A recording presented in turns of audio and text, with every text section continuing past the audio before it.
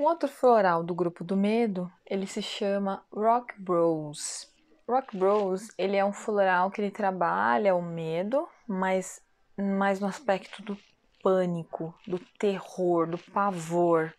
Então, uma energia de medo muito forte. A pessoa acha que ela vai morrer. É o pânico mesmo, né, que a gente conhece. O pânico ele pode ter caudas ou não, mas é essa energia muito forte. A pessoa fica aterrorizada. Muitas vezes pode até ficar inconsciente de tão forte que é essa energia.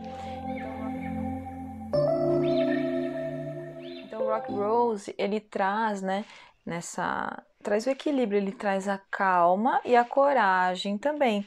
E muitas vezes minimiza esse medo, toda essa energia, essa frequência, conforme a coragem vai aumentando aos poucos. Então é um floral de limpeza também no campo vibratório da pessoa, seja mental, seja emocional e até mesmo físico. Então esse é o floral Rock Rose o remédio da emergência para casos em que parece não haver qualquer esperança.